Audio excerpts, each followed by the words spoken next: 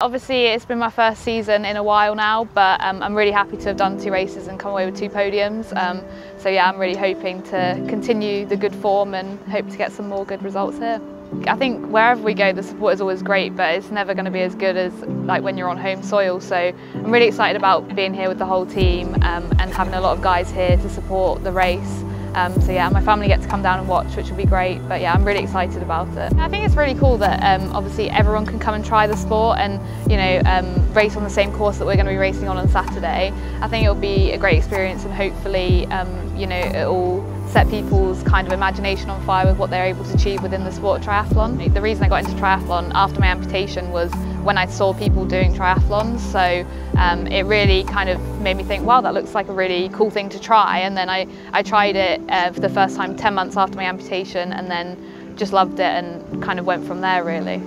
Not everyone was born with a disability like myself, some people acquire disabilities along the way so I think it's really empowering for people who acquire disabilities um, for them to see other people who have also acquired disabilities later in life um, be able to achieve in sport because sometimes it can be a real, people think of it as like a kind of closing of the doors and means they can't do things and they're not able to achieve things when actually it can just be the start of something else that's really exciting.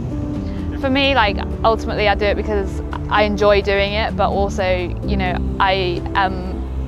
I believe that I can be the best at doing it. So um, for me, that's a really enjoyable experience and I love pushing myself in training every day. I love, you know, being able to race and being able to perform. Um, and it's, for me, it's just a really exciting opportunity.